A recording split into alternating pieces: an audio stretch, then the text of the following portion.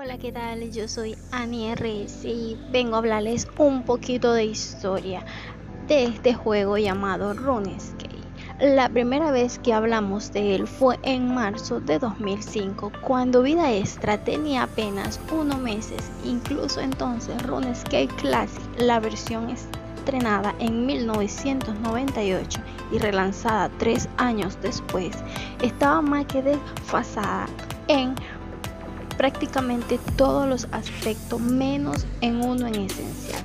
Su comunidad de jugadores seguía vivo. Y no solo para su país nato, sino para todos los del mundo. Pero RuneScape anunció el cierre de los servidores del juego por la sencilla razón de que este no era compatible con la tecnología RuneScape y Old School RuneScape donde su lanzamiento en el 2001 ha sido creado más de 2.000 cuentas y en el año 2008 se reconoció su impacto en el libro de los récords MMORPG más popular en el mundo, siendo rival de este otro juego llamado World of Warcraft en varios aspectos ¿Y por qué?